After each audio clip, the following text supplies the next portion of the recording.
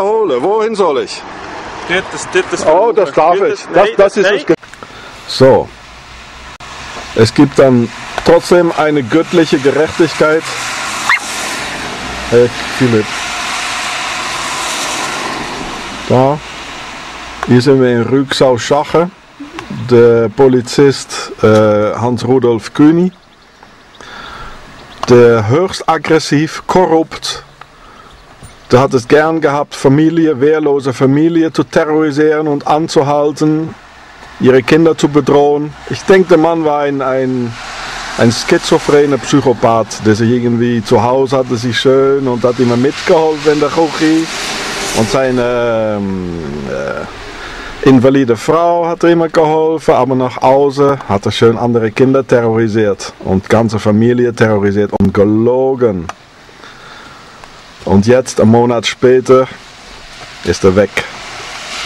Und was interessant ist, sie versuchen gerade wieder die Gesetze zu verschärfen, damit ein Pol und in den Zeitungen sagen sie, da kommen alle Art von Experten an, ans Wort. Die armen Polizisten, die machen doch nur ihre Arbeit und die Ton wird immer roher. Und sie werden bedroht überall und so. Sie haben einen 9 mm gegen wehrlose Menschen, aber sie fühlen sich immer noch nicht ganz sicher. Und mit diesem Fall wollen sie dann wieder alles verschärfen. Ne? Damit einfach zwei Polizisten solche Gesetze, dass man solche Gesetze macht, dass zwei Polizisten äh, einfach äh, etwas zusammenlügen können und dich äh, sagen, wir fühlen uns bedroht und hoppla, dann gehst du sofort im Knast. Das wollen sie gerade machen. Ja, ein Verbrecher war das. Ein korrupter, verbrecherischer Polizist war der Hans-Rudolf äh, Kühni. Und irgendwie gibt es schon eine göttliche Gerechtigkeit, dass er jetzt weg ist. Da hat sicherlich auch dabei ähm, äh, Roger äh, Fankhauser in Schaffhausen in Emmental hatte sich, war der in vorderster Front und hatte ja keine Kugel abgenommen. Ja, mal schön wieder eine Tür einschlagen. Herrlich, das ist ja schön. Alle Frustrationen von daheim, vom invalide Frau zu helfen und äh, da immer eine, mit, mit so Abspülen zu helfen, ne, so wie das in der Zeitung steht. Hat er schön all seine Frustrationen von daheim hatte, ja, auf andere rauslassen können. Und natürlich war der Tat nichts geplant. Ich meine, der, der Fankhauser ist, äh, ist in seinem Pyjama ist er noch geflüchtet auf der Straße. Das, das ist nicht geplant. Wir werden angelogen von all diesen Zeitungen und Medien, um einfach diese weitere Polizeistaat hier zu, äh, zu begründen. Da, Police. Das ist die Weltpolizei, die gegen, gegen den Menschen, gegen das Volk einfach immer mehr Macht hat und immer mehr Rechte hat, äh, jeder zu terrorisieren, wenn sie das wollen. Und hier als Ausländer hat man natürlich hat man überhaupt keine, man hat überhaupt keine Rechte hier in der Schweiz. Ja.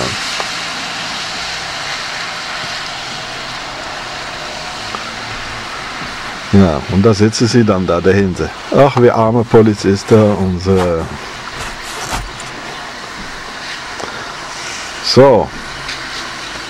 Eine göttliche Gerechtigkeit. Sein aggressives Verhalten ist äh, bestraft worden. Am 24. Mai hat man ihn erschossen. Als er sich mal wieder wehrlose Menschen hatte terrorisiert, aus der Wohnung versucht zu setzen, die Tür einzubrechen. Und äh, am 9. April hatte der Herr Ross und seine Familie und Kinder hatte voll terrorisiert, bedroht, angegriffen, rumgeschubst, etwas zusammengelogen, einfach um Ausländer hier im Gefängnis zu setzen. Man kann davon ausgehen, dass 80% der Ausländer, die im Gefängnis sitzen, hier in der Schweiz unschuldig im Gefängnis sitzen. Die haben etwas, die Schweizer haben etwas zusammengelogen und ja, man hat keine Chance hier. Schweizer haben immer recht. Wenn ein Problem, alle Ausländer wissen, hast du ein Problem mit den Schweizer, halt lieber deinen Mund. Weil sie haben immer recht. Die Polizei ist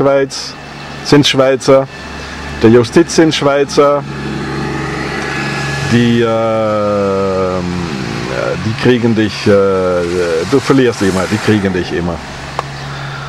Und äh, zum Glück war es dann ein Schweizer, der das gemacht hat. Und ich werde echt äh, Sean Ross, ich werde dieser junge Mann, die zum Äußersten äh, ge gezwungen ist, ich werde den nicht im Stich lassen. Und ich gebe diese Information über diese höchst aggressive und gefährliche und korrupte Polizist, äh, äh, möchte ich alle weitergeben.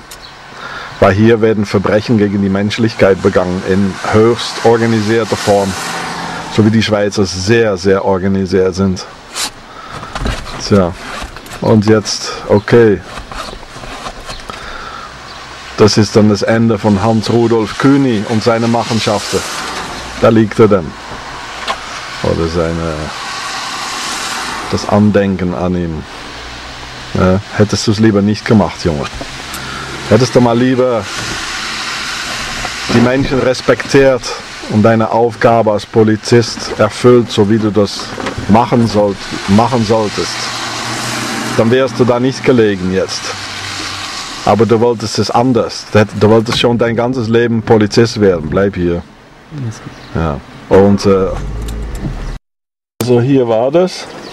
Der ähm, Turmstraße 56 in äh, Schaffhausen. Also hier kam der aggressive Polizist, wehrlose Menschen da terrorisieren. Und äh, ja, dieses Mal war das zu viel. Da ist er durch die Tür gegangen natürlich, haben sie ihn reingelassen. Und da in dem Haus, oder vielleicht da schon, ja, vielleicht diese Tür, hat es Kugellöcher? Nee, war so eine andere Tür. Hat er sein, das was er wirklich ist, hat er daraus ausgelebt. Der aggressive und korrupte Polizist. Und ähm, ja, man kann einen Menschen, dieses Mal hatte den Menschen, der äh, Roger Funkhause haben sie zu viel gedrückt und äh, ja, der ist, der ist einfach geplatzt. Und äh, ja, okay, das war's. So, hier sind wir auf dem Pharaonenfriedhof, wo der im Heimiswil Pyramide und die Erddomination zweimal, der Jachim und der Boas das ist Friedhof, irgendwo wird er vergraben. Dann. Und hier liegt er. Leider ist die Tür zu, sonst hätte ich noch schnell die Hand geschüttelt. Da. Hans-Rudi König. Steht da sonst noch? Bestattungsdienste, Stalder, Rinderbach. Ja, na da liegst du dann, Junge. Vor einem Monat hast du noch meine Familie und mich terrorisiert. Und jetzt sind wir da ganz nah. Und äh, die göttliche, ja, wir sind auf dem Friedhof, die göttliche Gerechtigkeit hat zugeschlagen. Du warst so böse. Meine Kinder haben das nicht verdient, was du da gemacht hast, da sie anzulügen. Die haben keine Vertrauen mehr in Polizei jetzt. Meine Frau, sie ist Krankenschwester, sie arbeitet hart, sie ist Schweizerin, sie ist eine liebe Frau. Meine Kinder sind auch liebe Leute. Ich bin ein guter Vater. Die haben das auch nicht verdient. Warum hast du das gemacht? Von wem hast du die Befehle überkommen, als du 20 Minuten im Auto warst? Hä? Ich komme mal zurück, wenn es auf ist, hier die Bude. Warum hast du das gemacht? Wieso warst du so böse? zu Hause Engelchen spielen und auf die Arbeit de Gang Ho, da de Rambo machen, wehrlose Menschen terrorisieren, die Kamera aus der Hand schlagen, sie rumschubsen, sie erniedrige, erniedrigende Befummlung, Befummlungen, Befummlungen unterziehen und dann noch etwas zusammenlügen, dass der Ausländer aggressiv wäre, was überhaupt nicht wahr ist. Dass der Ausländer geschimpft hat, das stimmt überhaupt nicht. Vielleicht kannst du mich hören, Junge. Warum warst du so böse? Ich habe das nicht verdient.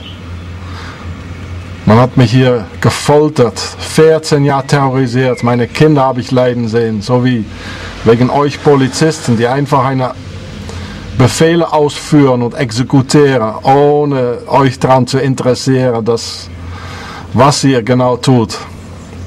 Warum? Wieso habt ihr so einen Hass auf andere Menschen? Ja? Und es war mir deutlich, dass du da deinen Hass während mehr als 30 Minuten über mich und meine Familie übergehen ließ, war es mir deutlich. Äh, und warum? Warum haben Schweizer so einen Hass auf andere? Hä? Da liegst du, Junge. Hast du noch Nachbarn? Ne, kein Nachbarn. Hä?